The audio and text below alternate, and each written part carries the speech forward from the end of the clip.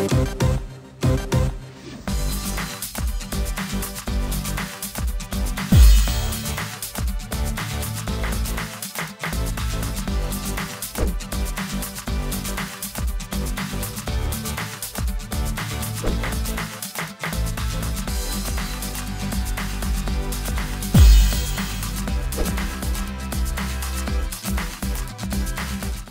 Cinderella premiere in Los Angeles, and I'm very excited.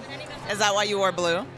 That is one of the reasons that I wore blue, and I see it's a reoccurring theme. So You, you can either pick a princess you'd like to be or pick a princess movie that you'd like to see as a live action movie. What would you?